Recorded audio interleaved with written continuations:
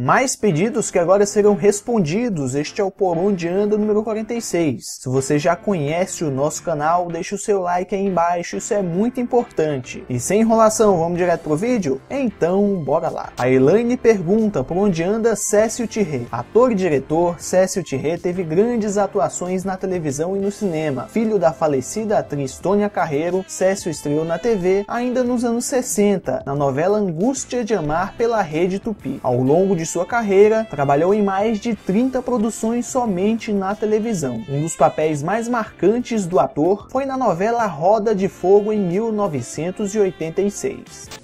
Se você souber fazer o jogo certo, isso só vai servir para aproximar vocês duas. É pegar ou largar.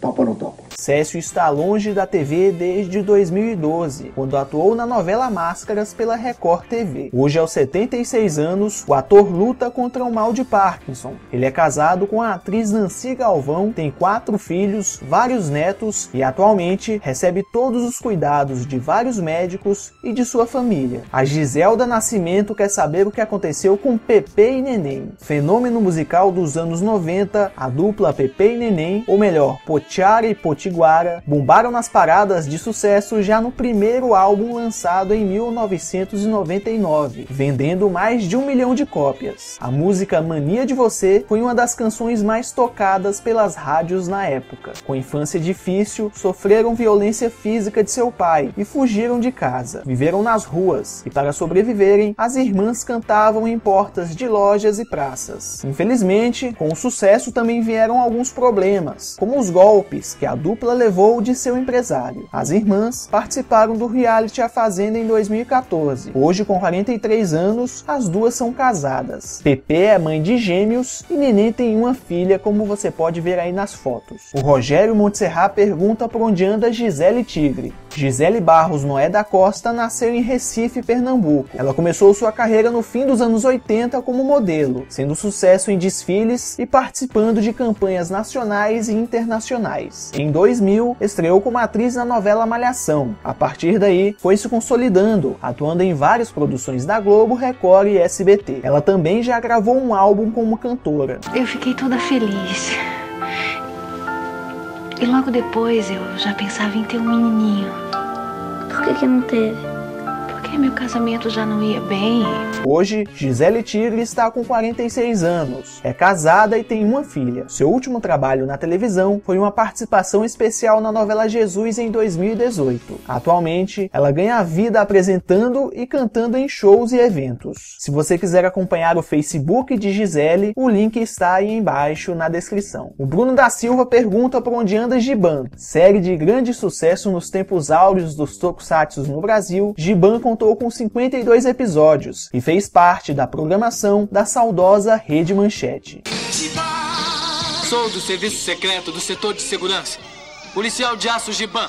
Shohei Kosaka, ou seu nome verdadeiro, Hiroshi Tokoro, foi o policial de aço na série, que foi ao ar entre 1989 e 1990 no Japão. O ator atualmente está com 55 anos e deixou de atuar em 1995. Hoje ele trabalha como manager do advogado internacional Hideki Hashiro. Ele recentemente veio ao Brasil para participar do evento Anime Friends no Rio de Janeiro. Hideki já esteve no nosso país em outras edições do Anime Friends em São Paulo. A Selma Costa pergunta o que aconteceu com a Eliane Rainha do Forró. Nascida em Jaguaribe, no Ceará, Eliane Maria de Lima, com apenas 15 anos, lançou seu primeiro álbum, incentivada pelo seu pai. Virou sucesso nacional com a música Quando Será, ainda no final dos anos 80. Na época, a cantora também conquistou seu primeiro disco de ouro. Outras canções como Jeito Manhoso e Sem Você Não Dá também bombaram nas paradas na década de 80. 80. Hoje, aos 51 anos, Eliane continua rodando o Brasil fazendo vários shows. Ela é casada há 28 anos com o baterista Cláudio Júnior e é mãe de dois filhos que também são cantores. A Cleo Alves pergunta por onde andam Maria Zilda e Marcos Frota. Atriz e produtora, Maria Zilda iniciou sua carreira na TV nos anos 70, atuando na novela Fogo sobre Terra em 1974. Na década de 80, se consolidou como uma das grandes músicas musas da TV, participando de vários folhetins como em Água Viva, Vereda Tropical e Guerra dos Sexos. Em 1985, Maria Zilda posou nua para Playboy.